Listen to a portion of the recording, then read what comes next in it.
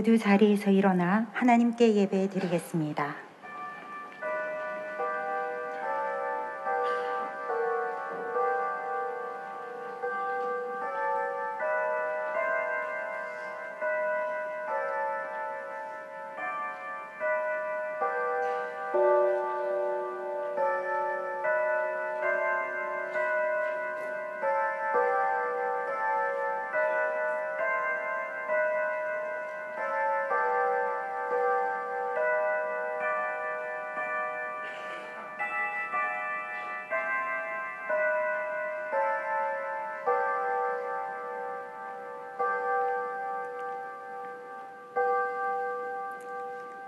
그러므로 형제들아 내가 하나님의 모든 자비하심으로 너희를 권하노니 너희 몸을 하나님이 기뻐하시는 거룩한 산 제물로 드리라 이는 너희가 드릴 영적 예배니라 아멘.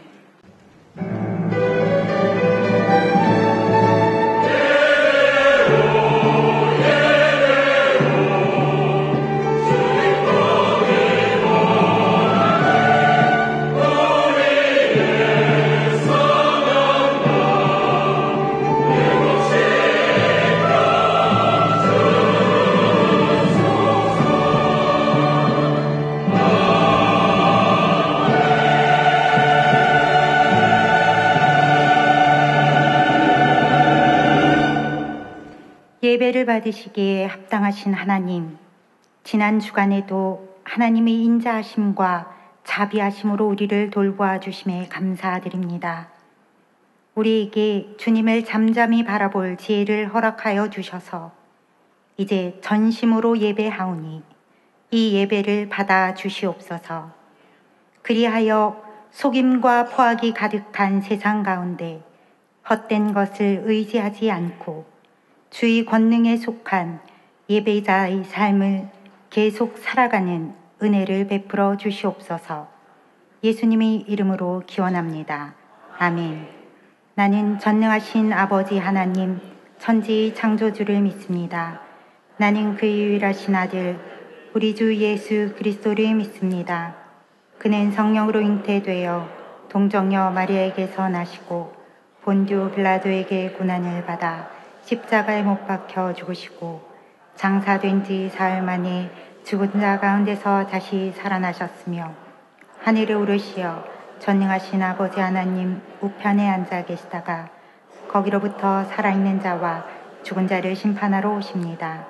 나는 성령을 믿으며 거룩한 공교회와 성도의 교제와 죄를 용서받는 것과 몸의 부활과 영생을 믿습니다. 아멘. 성시교동은 교독은 21번, 교동문 21번입니다.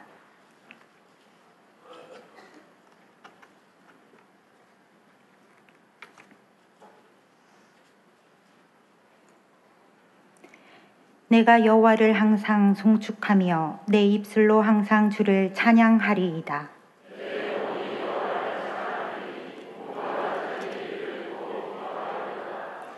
나와 함께 여호와를 광대하시다 하며 함께 그 이름을 높이세.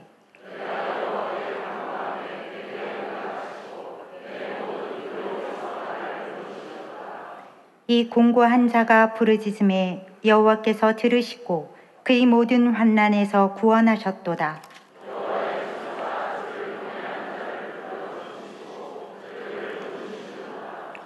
너희는 여호와의 선하심을 맛보아할지어다. 그에게 피하는 자는 복이 있도다.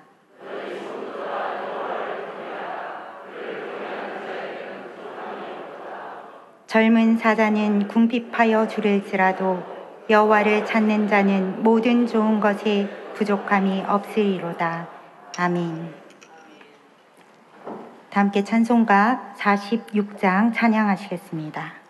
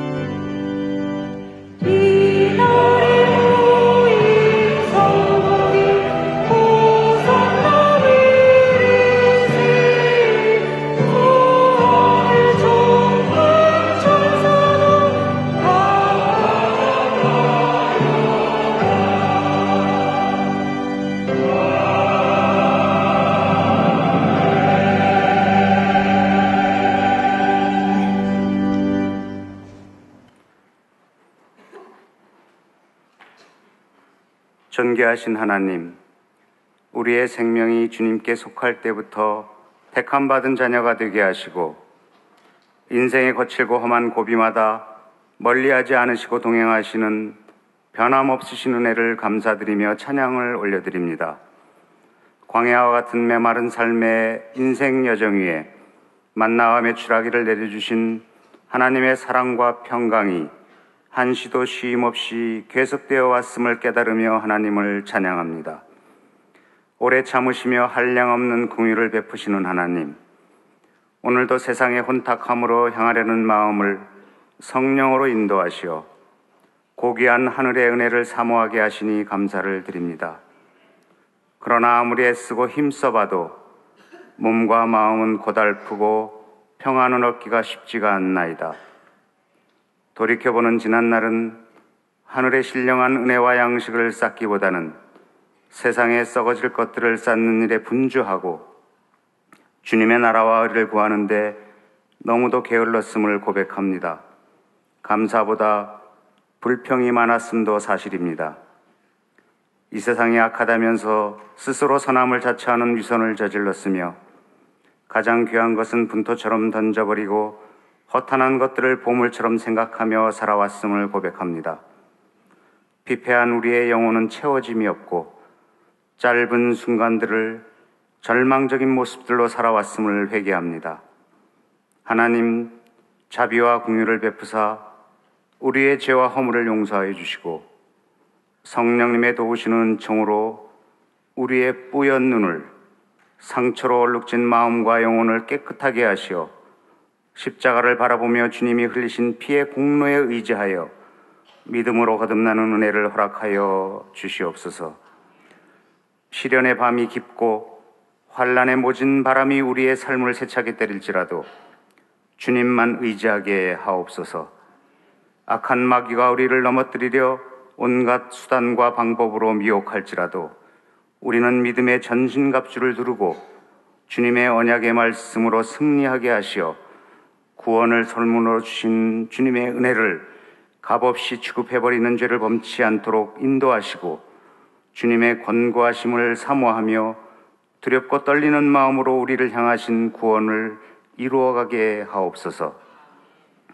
축복 주시기를 원하시는 하나님, 경제적인 어려움으로 인하여 삶의 고통으로 인하여 주님을 등지는 일이 없도록 인도하시고 쉽게 세상과 타협하는 방법보다 어려울수록 삶의 목표를 주님께 둘 수 있도록 복 내려 주시기를 원합니다.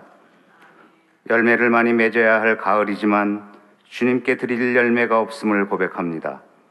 헌신과 봉사의 열매도 없었습니다. 주님 말씀에 대한 순종의 열매도 없었습니다. 영혼 구원을 위한 전도의 열매도 없었습니다. 이 가을에 우리의 무화과 나무가 무성치 못할지라도 우리의 포도나무에 열매가 없고 감람나무에 소출이 없고 우리의 밭에 먹을 것이 없고 우리의 외양간에 양과 소가 없을지라도 여호와로 인해 기뻐하고 즐거워할 수 있도록 인도하여 주시옵소서. 아무것도 없음에 감사할 수 있게 하시고 적게 소유하는 것에 자유로워질 수 있게 인도하여 주시옵소서. 소망으로 가지고 나온 교우들의 기도의 제목들을 들어 응답하여 주시기를 원합니다. 의식주의 문제와 학업, 대학 수능 문제, 군복무, 직장과 결혼, 자녀들에 대한 기도의 간구를 이루어 주시옵소서. 내가 너를 고쳐주며 내 손을 잡아 보호하며 모든 얼굴에서 눈물을 씻기시리라고 하신 말씀이 병으로 고통받는 환우들의 심령과 육체에 새로운 위로가 되기를 간절히 소망합니다. 하나님, 우리 신천교회, 주님의 교회를 견고하게 세워 주시옵소서 신천의 청년들을 지키시며 주님의 십자가가 세상을 밝히며 신앙의 등불이 꺼지지 않으며 주님의 자비와 평화, 이웃을 위한 사랑을 선포하며 흔들리지 않는 전, 선교와 전도를 통해 고난받고 상처 입은 영혼들을 구원하는 역사를 이루어 주옵소서. 우리의 아이들과 청소년들이 존귀함을 받고 교회의 어르신들이 존경받는 아름다운 교회가 되게 하여 주시옵소서. 진행 중인 교육관 건축을 위해 관심과 기도로 동참하게 하여 주시옵소서. 창립 35주년에 시작한 브라질 선교를 시작으로 케냐, 인도의 선교지를 허락하신 하나님, 지금도 준행 중이며 계속되어야 할 모든 민족이 구원을 얻기까지의 사명에 우리 교회를 도구로 사용하여 주시옵소서. 우리가 돕는 고한 남부교회를 포함한 28개의 농촌 미자립교회, 교경협의회를 비롯한 20개의 선교기관, 해외 파송 지원하는 강진화 선교사를 포함한 18개국의 19명의 선교사, 전체 70여 곳이 그곳의 지원이 우리가 해야 할 일임을 기억하게 하여 주시옵소서. 하나님, 이번 주에는 2017년도를 위한 정책당회가 시작됩니다. 우리 교회가 나아갈 방향과 목표에 대해 심도 있게 고민할 수 있게 인도하시고 잘 맞춰질 수 있도록 지혜를 허락하여 주시옵소서. 오늘도 우리에게 말씀의 충만한 은혜를 기대합니다. 조동천 담임 목사님을 통한 말씀의 권세가 우리에게 은혜로 임하기를 소망합니다. 성령의 감동이 갈급한 우리의 심령에 가득 채워지기를 원합니다. 목사님에게 함께 하시고 건강의 복도 허락하여 주시옵소서. 올러 목사님과 부교역자들에게도 동일한 복을 허락하시고 시온 찬양대에 준비된 찬양을 통해 영광 받아 주시고 예배가 완성되게 하여 주시옵소서. 이 시간 참석지 못한 교우들을 위로하사 있는 곳에 하나님의 국률의 복이 내려지기를 원하며 예수님의 이름으로 기도드립니다. 아멘.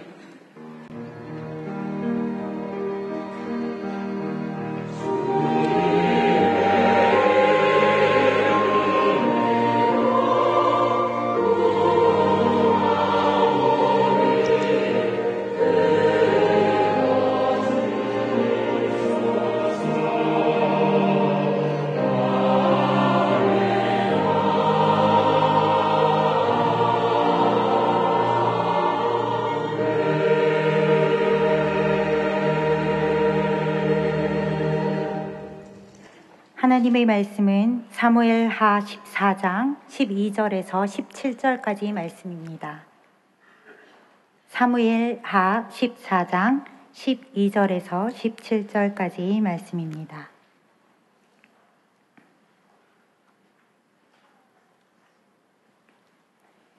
여인이 이르되 청하건대 당신의 여정을 용납하여 한 말씀을 내 주 왕께 여쭙게 하옵소서 하니 그가 이르되 말하라 하니라. 여인이 이르되 그러면 어찌하여 왕께서 하나님의 백성에게 대하여 이 같은 생각을 하셨나이까? 이 말씀을 하심으로 왕께서 죄 있는 사람같이 되심은 그 내쫓긴 자를 왕께서 집으로 돌아오게 하지 아니하심이니이다. 우리는 필경 죽으리니 땅에 쏟아진 물을 다시 담지 못함 같을 것이오나 하나님은 생명을 빼앗지 아니하시고 방책을 베푸사 내 쫓긴 자가 하나님께 버린 자가 되지 아니하게 하시나이다. 이제 내가 와서 내 주 왕께 이 말씀을 엿주는 것은 백성들이 나를 두렵게 하므로 당신의 여종이 스스로 말하기를 내가 왕께 여쭈오면 혹시 종이 청하는 것을 왕께서 시행하실 것이라. 왕께서 들으시고 나와 내 아들을 함께 하나님의 기업에서 끊을 자의 손으로부터 주의 종을 구원하시리라 함이니이다. 당신의 여종이 또 스스로 말하기를 내 주 왕의 말씀이 나의 위로가 되기를 원한다 하셨, 하였사오니 이는 내 주 왕께서 하나님의 사자같이 선과 악을 분간하심이니이다. 원하건대 왕의 하나님 여호와께서 왕과 같이 계시옵소서. 아멘.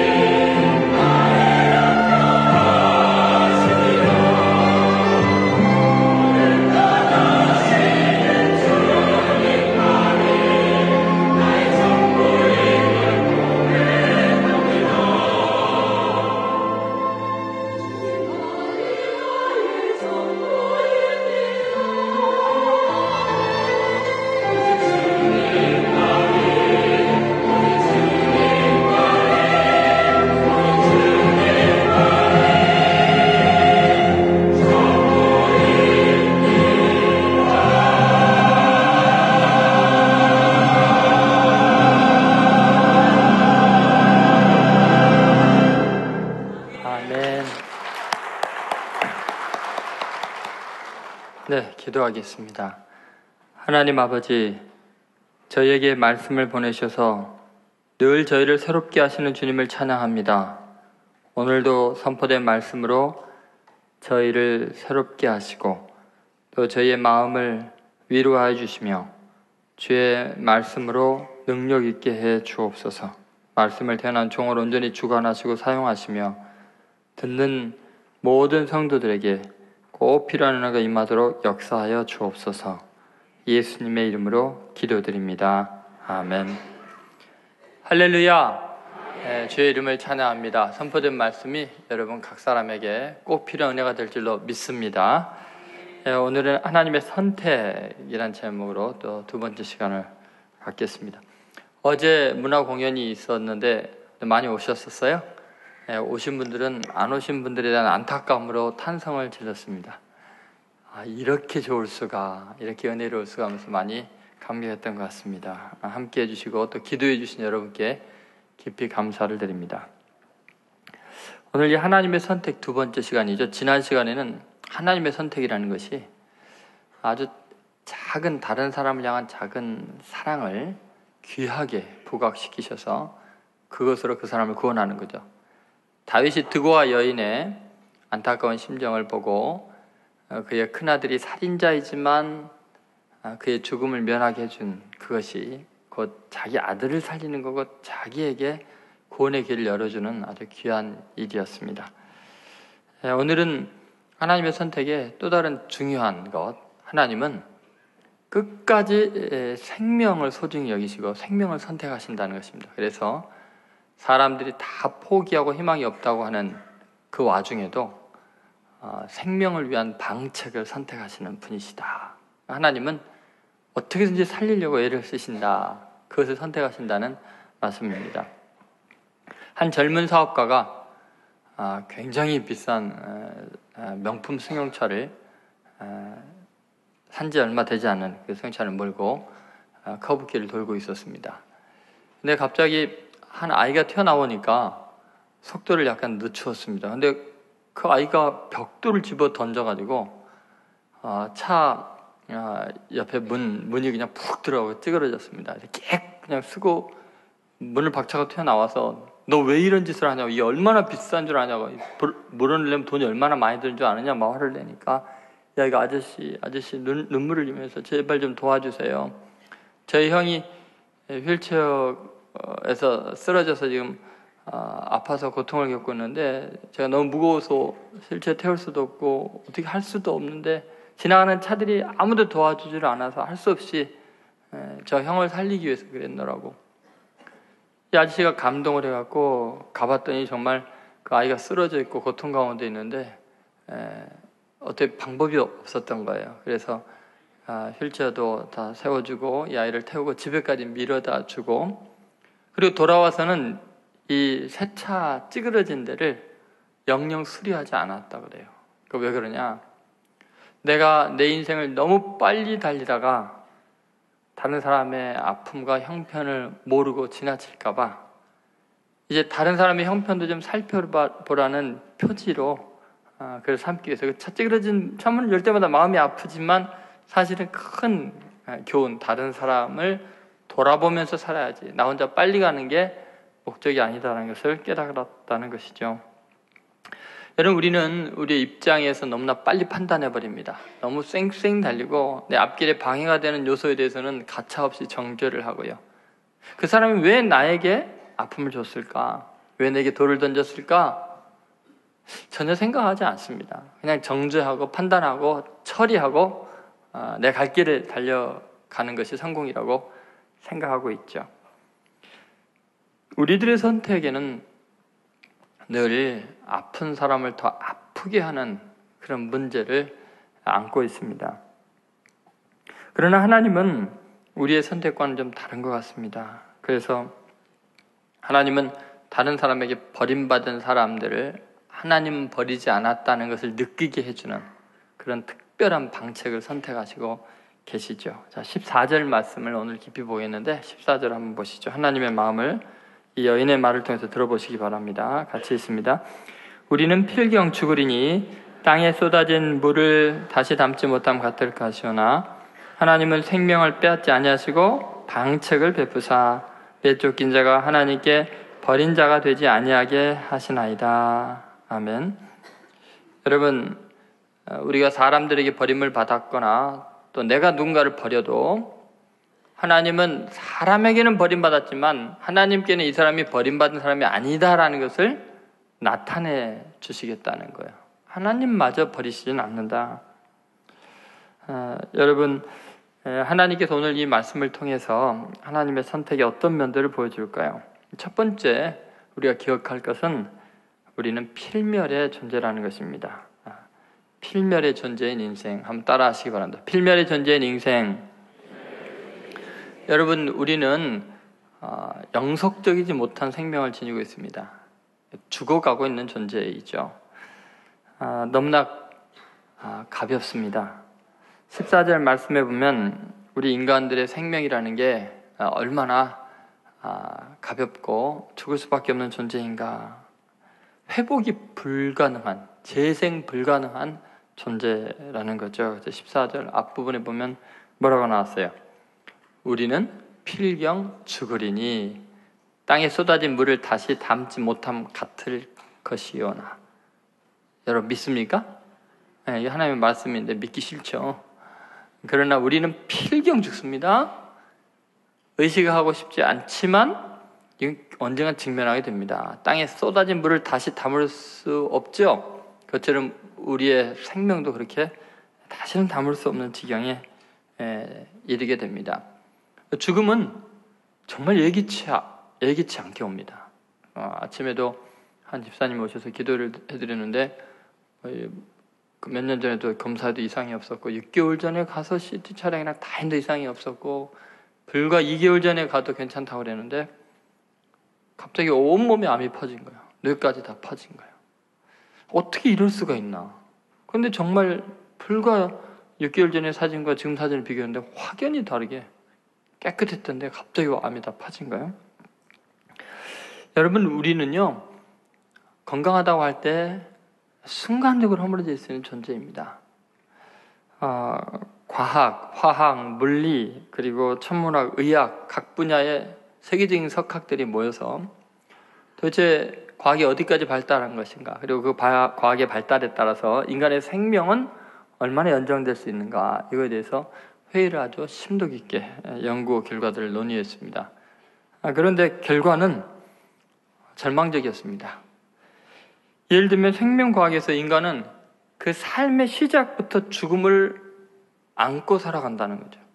그러니까 태어나는 것 자체가 죽음의 반복이라는 것입니다. 예를 들어서 여러분 우리의 생명이 탄생하기 위해서 가장 중요한 게 난자인데 그 난자는 감수 분열에 의해서 남모 세포에서 네 개의 딸 세포가 생겨나면서 나머지 세 개의 딸 세포가 다 죽어야 하나가 이제 우리의 생명을 잉태할 수 있다는 것이죠.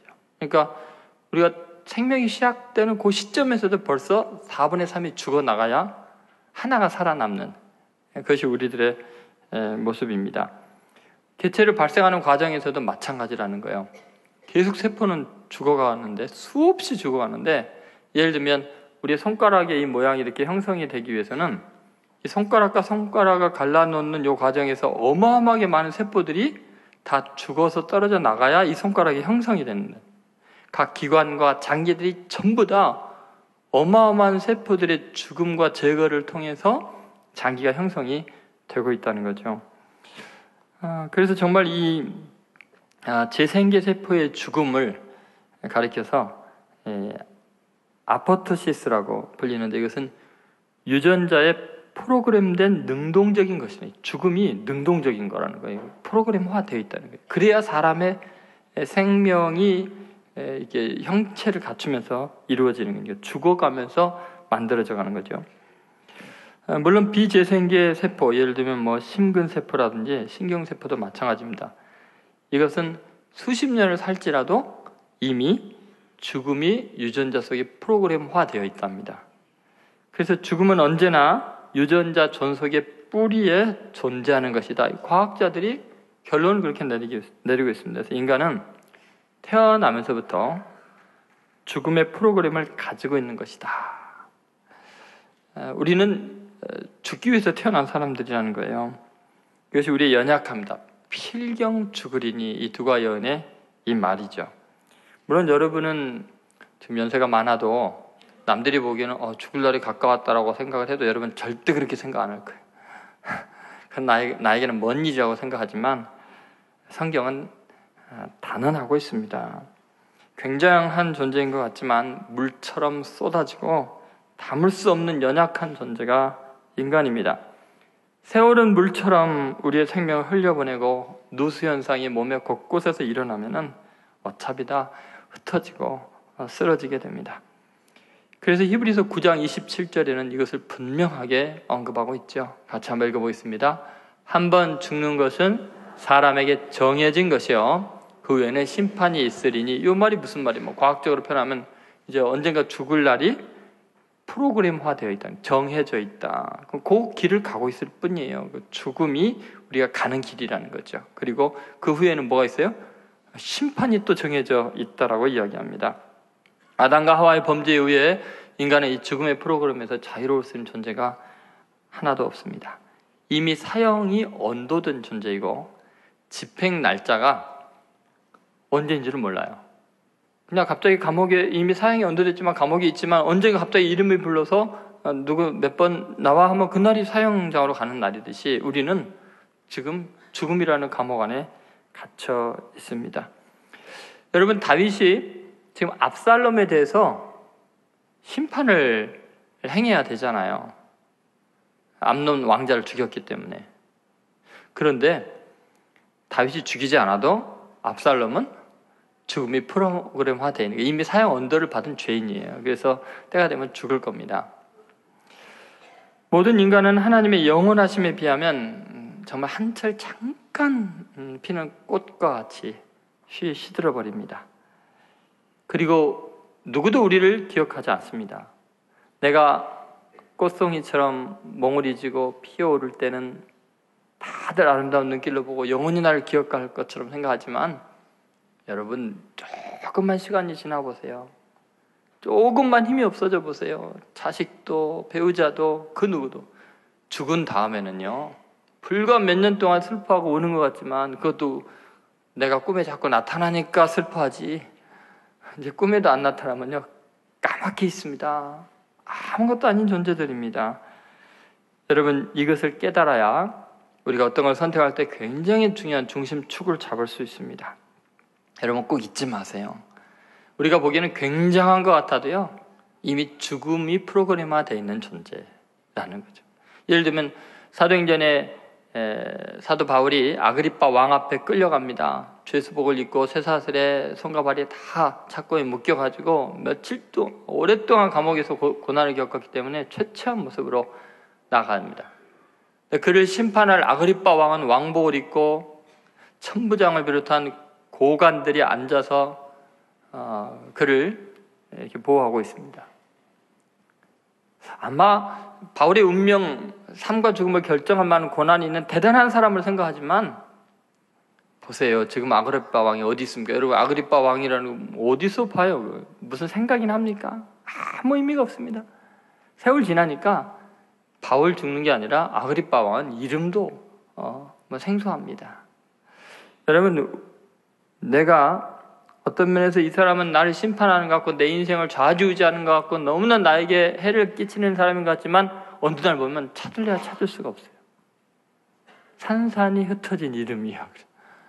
아무것도 아닙니다. 여러분 내가 처리하지 않아도 내 마음을 아프게 한 그 원수는요 하나님께서 다 처리를 하고 계셔요. 이미 죽음을 계획해 놓고 있으니까요. 내 손에 피를 묻힐 필요도 없어요. 생명이 있는 그 짧은 순간에 비록 나에게 벽돌을 던졌지만 내 차를 찌그러뜨렸지만 그가 지금 고통당하고 있는 불쌍한 사람에 불과한 거예요. 여러분 우리 인생에서 내게 죄를 범했다고 내게 가해했다고 그래서 내가 그 사람을 죽이기 위해서 발버둥 쳐야 되고 그에 대해서 복수하기 위해서 애를 쓸 만한 가치도 없는 존재. 왜냐하면 이미 죽음의 길을 가고 있기 때문에. 그래서 여러분 뭐를 하며 살아야 될지를 생각해야 돼요. 심지어 나를 괴롭히는 원수라도 그래서 아, 지금 죽음의 길을 가고 있는 나의 동반자구나. 불쌍히 여기고 말 일이지. 그것 때문에 마음을 쏟을 필요가 없는 것이죠. 그래서 하나님은 우리가 서로 상처를 주고받고 용서가 안 되지만 우리들에게 이걸 기억하라는 거예요. 예, 우리는 뭐요? 어, 반드시 죽을 존재다. 이 두과 여인의 입을 통해서 지금 이야기하는 거죠. 우리는 필경 죽으리니. 용납할 수 없는 나를 힘들게 하고 분노케 하는 그 사람이 영생의 존재가 아니라는 것만으로도 여러분 이미 유료받은 거 아니에요? 네, 필멸의 존재임을 잊지 마시고 아, 사람에게서 받은 상처에서 자유하시고 그냥 불쌍히 여기시고 넘어가시기를 주의 이름으로 소원합니다. 네, 두 번째 에, 서로 내쫓는 인간들이 죽어가는 과정에서 서로 물고 뜯는 거예요. 예, 오늘 이 14절의 끝부분을 보면 그렇게 나옵니다. 아, 이 내쫓긴 자가 하나님께 버린 자가 되지 아니하게 하신 아이다. 내쫓긴 자가 누가 내쫓아요? 인간이 인간을 내쫓는 거죠. 다시 말해서 어, 지금 드과 여인의 큰 아들이 둘째 아들을 죽였어요. 그러니까 온 마을 사람들이 그 큰 아들을 죽이려고 어, 내놓으라는 거예요. 완전히 그 사회에서 제거하겠다는 거죠. 매장하겠다는 거죠. 그렇게 사람들에게 내쫓기고 죽음으로 몰리는 그 사람을 하나님은 버리지 않는다. 이것을 알게 하겠다는 거죠. 그러면 이걸 보면은 인간은 자기도 죽어가면서도 다른 또 다른 죄 지은 사람을 죽이려고 하고 죽어가는 그 과정 속에 고통을 더하려고 하고 그 정의라는 이름으로 아, 그를 제거하려고 합니다. 내쫓아 버리려고 합니다. 이것이 우리들의 인생의 아, 그 고통입니다. 인간은 자비도 없고 용서도 없습니다.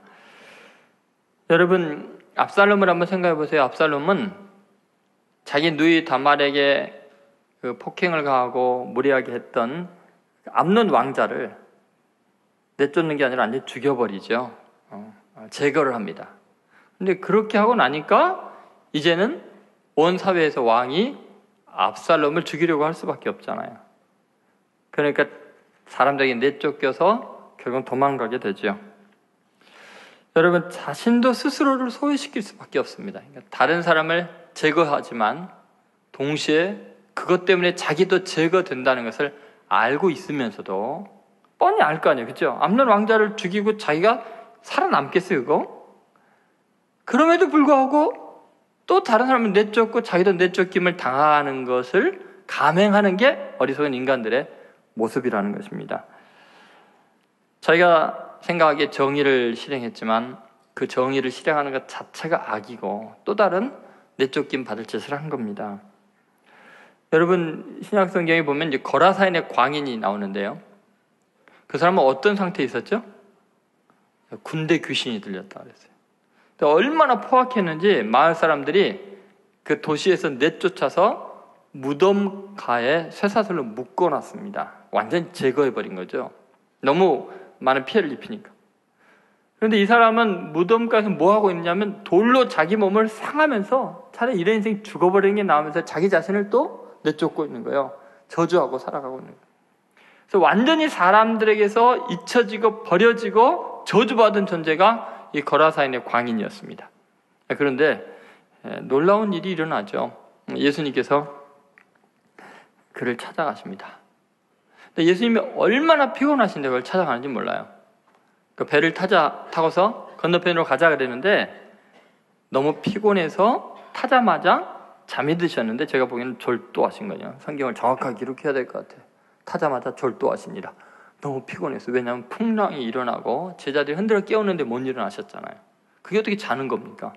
배가 뒤집어지고 비바람에 몰아치는데 어떻게 잠이 안, 안 깨요? 그러니까 너무 과로하신 거예요. 그럼에도 불구하고 바다를 건너서 가자는 이유가 사람들 피해서 가는 줄 알았더니 그게 아니라 사람들이 내쫓은 그 거라산의 광해를 만나러 가는 거예요. 그를 구원하려고 하는 거예요. 그리고는 거기 도착하자마자 거라산의 광인이 나와 당신과 무슨 상관이 있습니까? 하고 예수님께 오히려 막 그 면박을 주는데도 그 귀신을 쫓아내주고 온전케 만드니까 마을 사람들이 와서 예수님을 또 쫓아냅니다. 그러니까 예수님 쉬지도 못하고 배에서 내리지도 못하고 그대로 다시 돌아오셔요. 세상 사람들은 완전히 내쫓고 제거한 그 한 사람을 하나님은 버리지 않았다는 걸 보여주고 사람은 쫓아내도 나는 너를 포기하지 않았다는 거한 가지 보여주기 위해서 그 피곤을 무릅쓰고 바다를 건너 갔다 오신 거죠.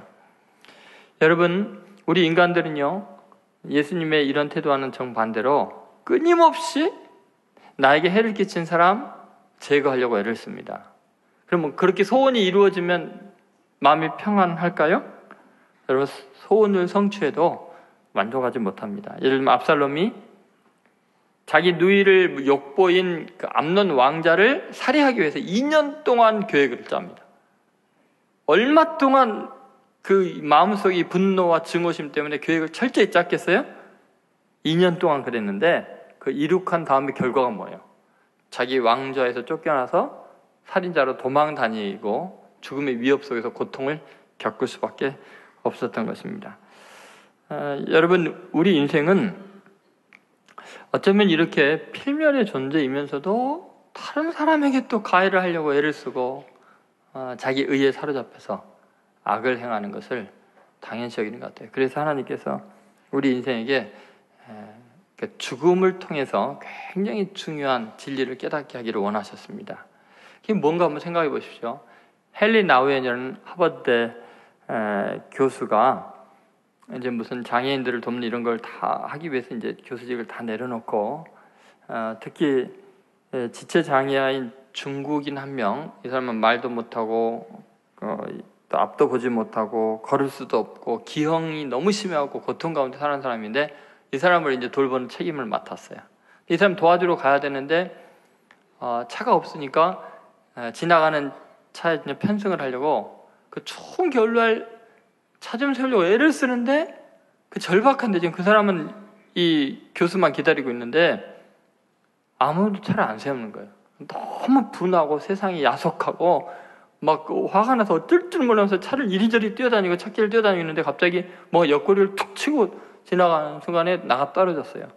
근데 그게 차의 그 백밀러에 옆구리를 치었는데 비장이 파열이 되고 결국 응- 응급 수술을 해서 비장을 떼냈는데 이미 피, 피를 몸의 3분의 2 피가 빠져나온 거예요. 그래서 이제 곧 죽음의 에, 위기를 이제 겪게 된 거예요. 곧 죽을 수밖에 없는 지경이 되었는데 그때 꼭 살아야겠다는 의욕이 자기 속에 갑자기 생겨나는 것을 경험해요. 그러면서 죽음을 통해서 도대체 왜 살아야 되는 삶에 대한 연연이 있는가 봤더니 자기가 사랑하는 사람들에 대한 추억 때문이 아니고 자기가 용서하지 못하고 내게 상처를 준 사람 또 내가 상처를 준 사람들과 화해하지 못하고 죽는 것이 너무 두려운 거예요.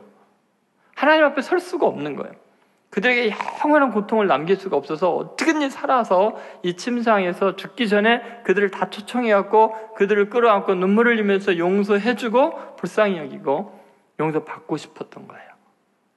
그러면서 그분이 이야기합니다. 죽음을 하나님이 내게 주신 우리에게 주신 이유, 그 죽음의 가장 중요한 의미는 죽음을 통해서 다른 사람을 자유케 하고 죽음을 통해서 용서할 수 있는 기회를 하나님이 주기 위함이라는 것을 알게 됩니다. 결국은 삶의 여정이라는 게 뭐냐? 다른 사람을 위해서 용서하면서 마지막 내 생명까지 내어놓을 수 있는 그런 기회라는 거죠. 그럼 제가 알고 있는 어떤 분이 오랫동안 그 의식을 잃고 죽음을 그 경험하다가 이분이 몇 달 만에 깨어나서 제일 먼저 한 게 뭐냐면 자기와 원한진 또 다른 교우들과 목회자들을 불러서 미안하다고 용서해달라고 그렇게 진심으로 사과하는 것이 가장 중요한지를 알고 그렇게 용서하고 사랑했다는 거예요. 그런데 문제는 뭐냐?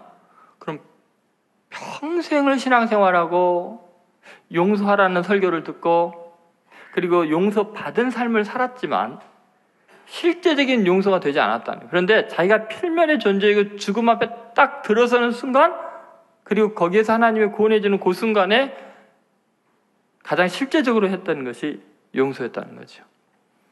여러분 우리는 아, 내 삶의 여정을 통해서 하나님께서 죽음에 이르게 하는 과정으로 우리에게 이루고 싶은 거, 완성하고 싶은 게 뭐냐면 다른 사람을 위한 생명인 것을 또 다른 사람을 자유케 하는 그 죽음을 기꺼이 맞을 수 있는 그 성숙한 모습이라는 것입니다.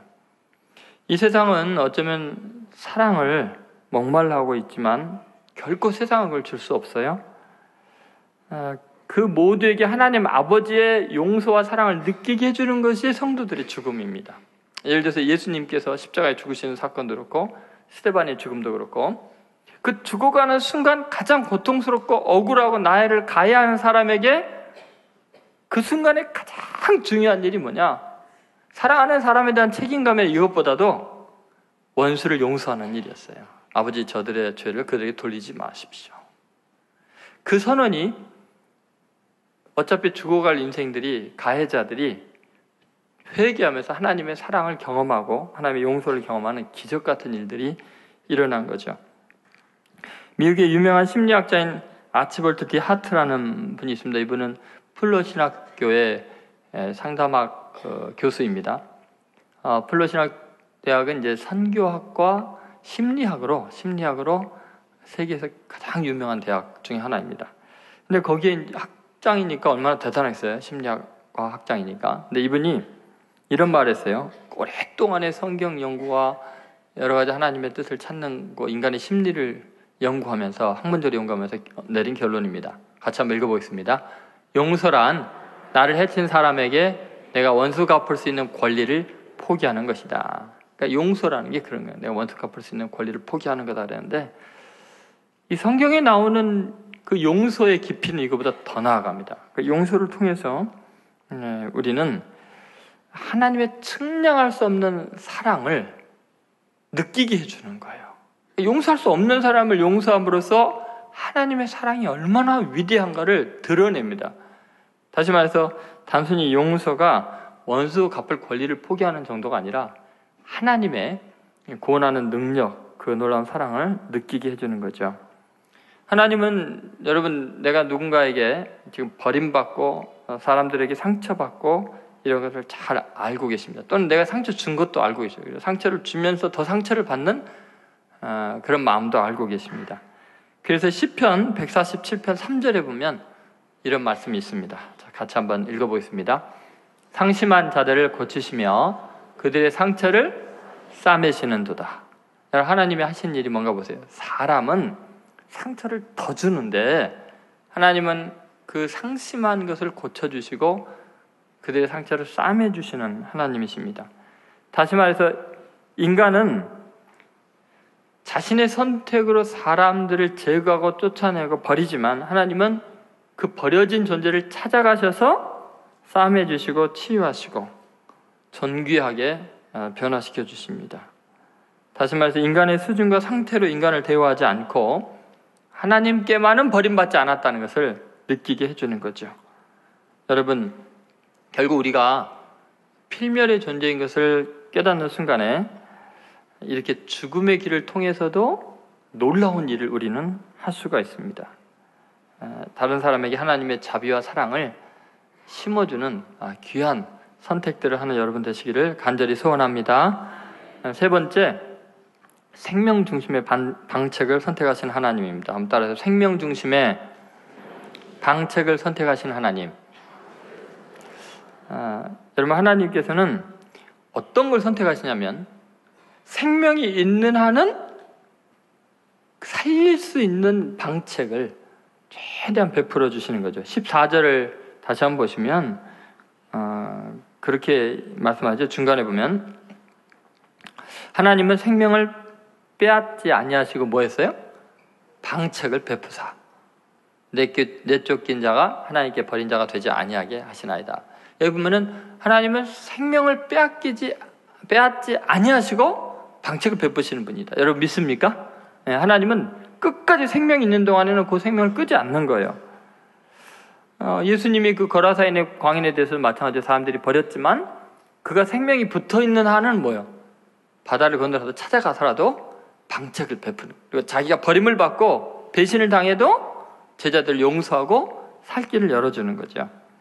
예수님은 늘 우리에게 그런 은혜를 베푸십니다. 어떻게든지 사방이 불가능한데 희망이 없는데 쇠사슬로 묶여 있고 자기도 자신을 돌로 쳐 죽일 정도로 희망이 없는 인생인데도 예수님은 어떻게 든지 방책을 베풀어 갖고 완전한 새 사람으로 만들어 주는 분이셔요.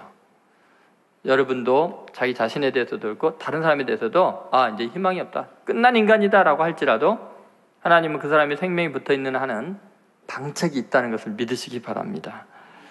아, 하나님께서 그걸 예로부터 오랫동안 그 방책을 강구하셨죠. 어, 역대하 7장 14절 16절 한번 같이 읽어보도록 하겠습니다. 내 이름으로 일컫는 내 백성이 그들의 악한 길에서 떠나 스스로 낮추고 기도하여 내 얼굴을 찾으면 내가 하늘에서 듣고 그들의 죄를 사하고 그들의 땅을 고칠지라. 이제 이곳에서 하는 기도에 내가 눈을 들고 귀를 기울이리니 이는 내가 이미 이 성전을 택하고 거룩하게 하여 내 이름을 여기에 영원히 있게 하였습니다. 내 눈과 내 마음이 항상 여기에 있으리라. 여러분 여기 보면은 아, 하나님의 백성이 그 악한 길에서 떠나 이 말은 지금 악한 길에 빠져 있다는 거예요. 그러면 지금 악을 행했어요. 예를 들어 압살롬이 암몬 왕자를 돌로 쳐 죽이고 어, 이 여인의 큰아들이 작은아들 돌로 쳐 죽이고 가인이 아벨을 돌로 쳐 죽이고 이 악한 길에 있으면 뭐예요? 이 희망이 없을 것 같아 사람들이 내쫓지만 하나님은 회개할 기회를 주시는 거예요. 그래서 그 회개할 기회를 주시기 위해서 어, 제사 제도를 만들었고 또 성전을 건축하게 해서 그 성전에서 회개하고 기도하면 하나님 어떻게 하신다고요? 눈을 들어보고 귀를 기울여서 그들의 기도를 듣고 그를 치유하겠다는 거예요. 그러니까 이미 죄를 지은 악한 길에 빠져 있는 인간들을 위해서 어떻게 살 길과 방책을 내놓는 것이 하나님의 방법, 하나님의 마음이라는 것을 고대로부터 보여주고 있죠. 그래서 예배가 있고 성전 제사가 있고 그런 겁니다. 지금 여러분 여기 앉아 계신데 왜 앉아 있을까요? 아, 지금 예배를 통해서 나는 이러지도 못하고 저러지도 못하는데 하나님께는 무슨 방책이 있을 줄로 믿습니다. 예, 생명 있는 동안 하나님 내 이 길을 열어주시고 도와주시고 고쳐주시고 희망을 주실 줄로 믿습니다. 그 믿음이 있기 때문에 예배 드린 거 아니에요? 예, 그것이 하나님의 영광이고 능력이시죠. 하나님은 끝까지 최선을 다해서 우리들에게 자비를 베푸시고 기회 주기를 원하십니다.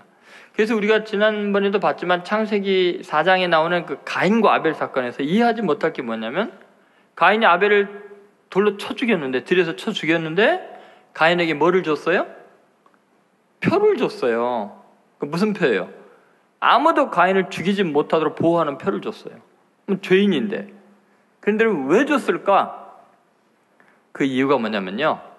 가인이 지금 살아있잖아요. 아벨은 어차피 죽었고. 그러면 생명이 있는 것은 가인인데 그 가인이 살아있는 동안에는 회개할 기회를 되도록이면 많이 주기를 원하시는 거예요. 근데 다른 사람이 와서 복수한다고 죽여버리면 회개할 기회를 놓치잖아요.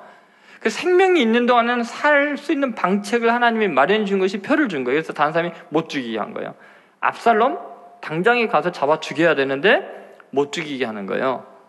큰 아들 드고아 여인의 큰 아들 동생이 죽였으니까 죽여야 되는데 왕이 못 죽이게 하는 거예요. 왜요?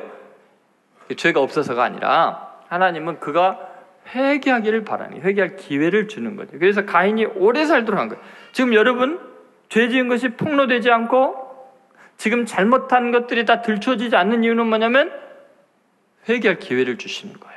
방책을 하나님이 지금 베풀고 있는 거예요. 악한 길에서 돌아오라고 회개하라고 말씀하시는 거죠. 이것이 하나님의 마음입니다. 결국 우리 필멸의 존재인 인간은 하나님께서 순간적인 존재이기 때문에 불쌍히 여겨요.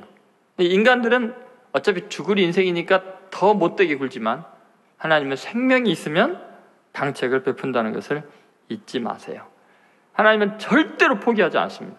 눈꽃만큼이라도 생명이 있으면 붙어 있으면 끝까지 살리려고 애를 쓰시는 거죠. 그 마음이 어, 이사야서 42장 3절에 나와 있죠. 같이 읽겠습니다.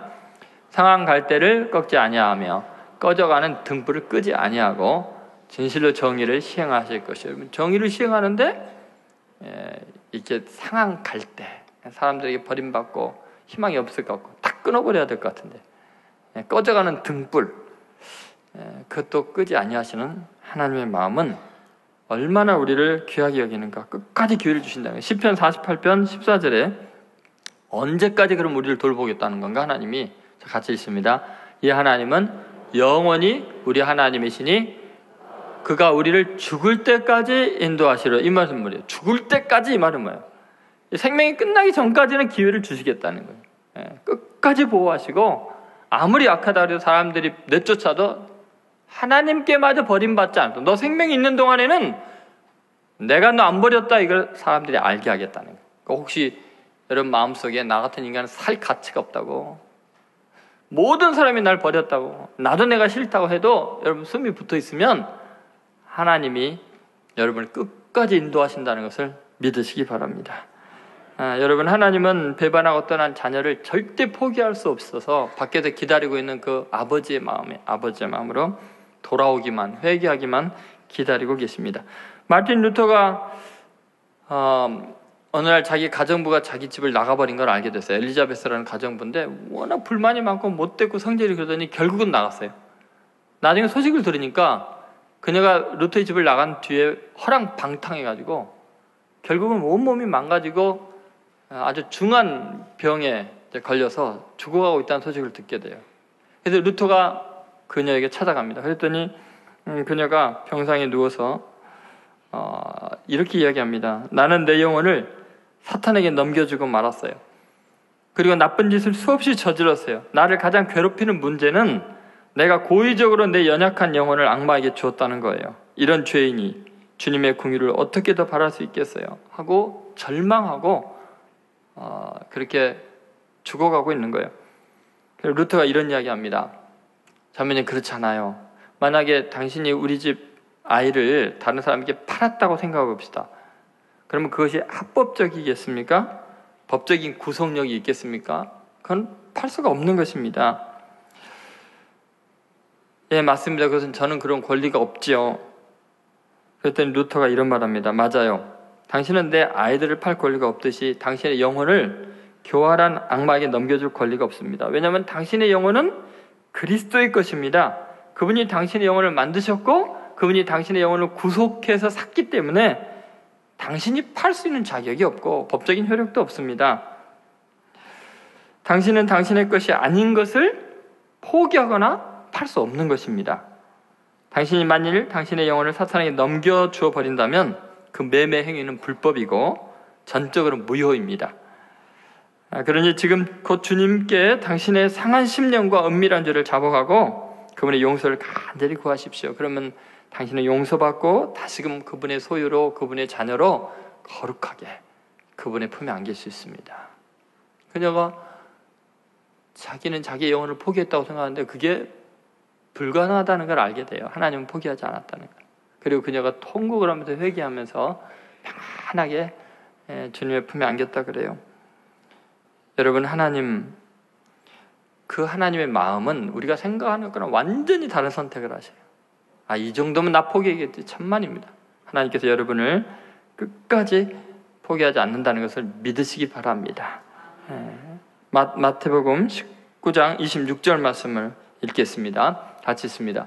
예수께서 그들을 보시며 이르시되 사람으로는 할 수 없으나 하나님으로서는 다 하실 수 있느니라. 자, 낙타기가 바늘귀로 들어가는 거 불가능한데 그렇게 사람이 구원받는 게 불가능할 것 같지만 사람으로는 할 수 없다는 거예요. 사람으로서는 방법이 없는데 나 포기했는데 그도 포기했는데 하나님으로서는 방책이 있다는 거예요. 살릴 수 있는 행, 능력이 있다는 거예요. 그러므로 여러분 지금 어떤 상황이 있든지 주님께로 돌아오십시오. 주님의 방책을 믿으시고 다시 소망을 갖고 승리하시기를 주의 이름으로 축원드립니다. 음, 기도하겠습니다. 시간에 하나님 앞에 여러분 결단의 기도하시기 바랍니다. 하나님 필멸의 존재인 것을 잊고 어차피 죽어갈 수밖에 없는 죄인들끼리 서로 다투고 정죄하고 판단했던 죄를 용서해 주십시오.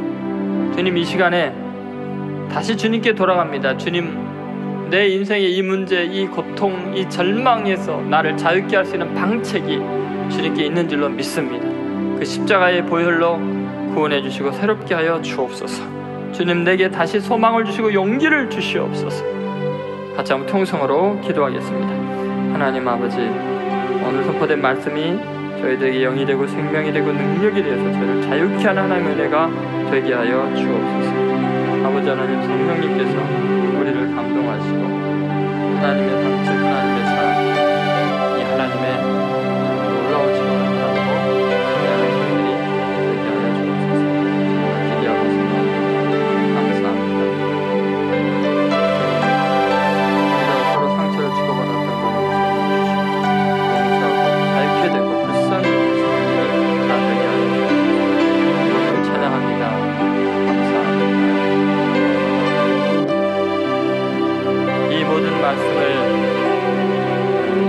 예수님의 이름으로 기도드립니다. 아멘. 네, 오늘 말씀을 생각하시며 찬송가 279장으로 우리 주님을 찬양하겠습니다.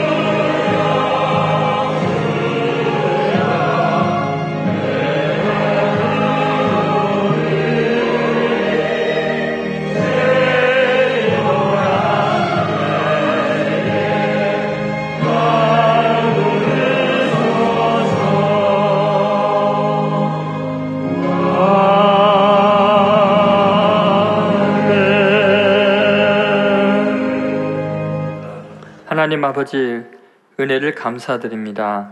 저희가 무엇이기에 이렇게 사랑하셔서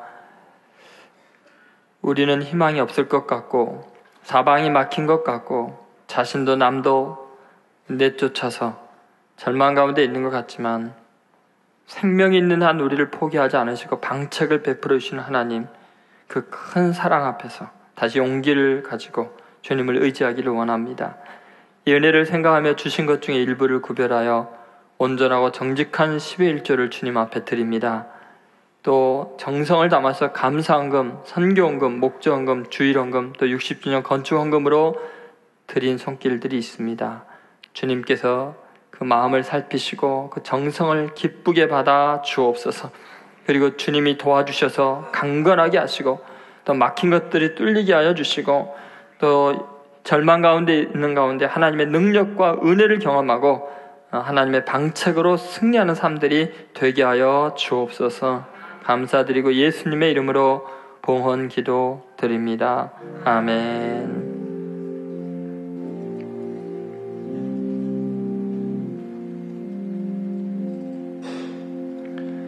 네, 오늘 첫 아기 출석 기도가 있습니다. 신상화 조선영의 아기 신유 무 신윤우입니다. 신윤우. 네. 신윤우.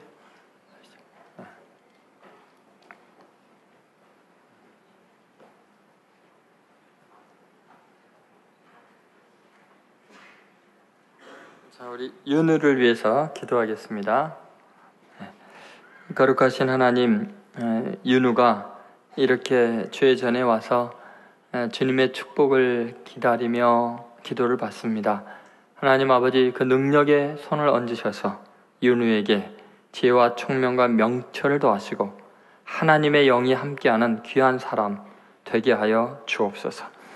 하나님 아버지 윤우에게 강건한 은혜를 허락하시고 모든 질병은 떠나가게 하여 주시고 하나님의 은혜 안에서 온전하고 멋지게 훌륭하게 자라게 하여 주옵소서. 윤우가 하나님 품 안에서 늘 평안하게 하시고 세상의 악으로부터 사고로부터 위험으로부터 보호하여 주시옵소서. 하나님 윤호가 자라면서 주위에 있는 사람들이 행복해지게 하시고 윤호가 이 땅에서 위대한 일들을 이루어가며 이 민족을 부흥케 하는 하나님의 일꾼이 되게 하여 주옵소서. 윤호를 키우는 부모에게 지혜를 주시고 건강을 주시고 믿음을 주시고 평강을 주셔서 하나님 믿음으로 맡겨진 자녀 하나님 앞에 위대한 인물로 키우기 부족함이 없도록 복을 내려 주시옵소서. 감사드리고 예수님의 이름으로 축복하며 기도드립니다. 아멘. 우리 큰 박수부터 합니다. 고맙습니다.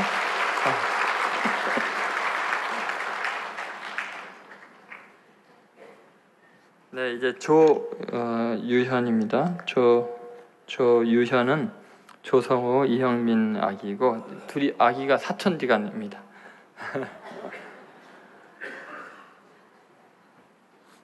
네, 기도하겠습니다. 벌써 이게 무대 체질인 것 같습니다. 저 유현이 위해서 기도하겠습니다. 하나님, 예, 유현이를 이 땅에 보내주시는 하나님을 찬양합니다. 주께서 유현이 가운데 뜻이 있고 꿈이 있으셔서 이 생명을 허락하신 줄로 믿습니다. 주님 도와주십시오. 하나님께서 친히 아버지가 되어 주시옵소서. 하나님께서 선한 목자가 되어 주옵소서. 하나님께서 유연의 힘이 되시고 능력이 되시고 지혜가 되어 주시옵소서. 하나님 유연이에게 주의 영이 충만히 임재하여 하나님의 나라와 영광을 위해서 위대하게 쓰임 받는 요셉처럼 다니엘처럼 이 시대를 구원하는 인물이 되도록 복을 내려 주시옵소서. 하나님 아버지 유연이가 살아가는 삶의 길목마다 정말 좋은 사람들이 함께하게 하시고 서로 돕고 위로하며 격려하면서 함께 하나님 나라를 이루는 귀한 동역자들을 많이 허락해 줄 줄로 믿습니다. 유연이에게 맡겨진 사명 감당할 수 있도록 지혜 주시고 총명을 더하여 주옵소서. 특별히 부모에게 하나님 믿음을 주시고 하나님 능력으로 붙잡아 주셔서 담대한 신앙을 주시고 그래서 유연이를 통해서 이루실 하나님의 영광을 바라보며 이 아이를 잘 양육할 수 있도록 지혜와 명철과 큰 믿음 더하여 주시옵소서. 하나님 유연이를 통해서 이 민족이 복을 받게 하시고 세계에 놀랄 만한 위대한 일들이 일어나도록 축복하여 주시옵소서. 예수님의 이름으로 축복하며 기도드립니다. 아멘. 우리 큰 박수부터 합니다.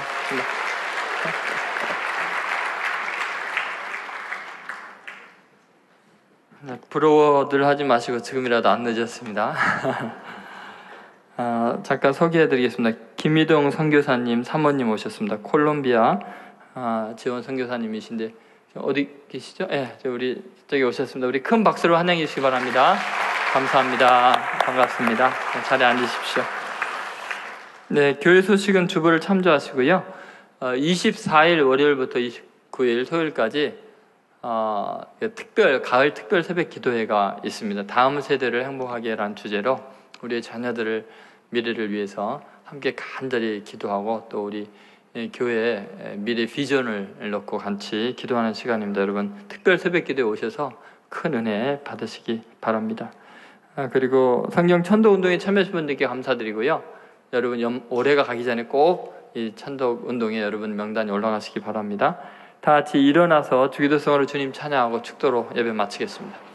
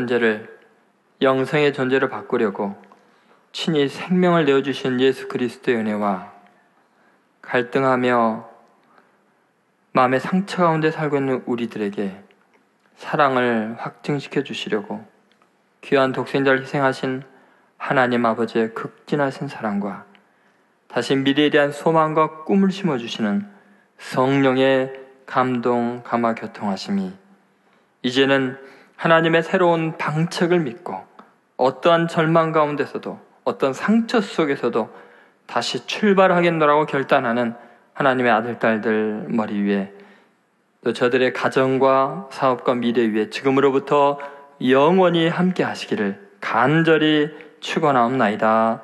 아멘.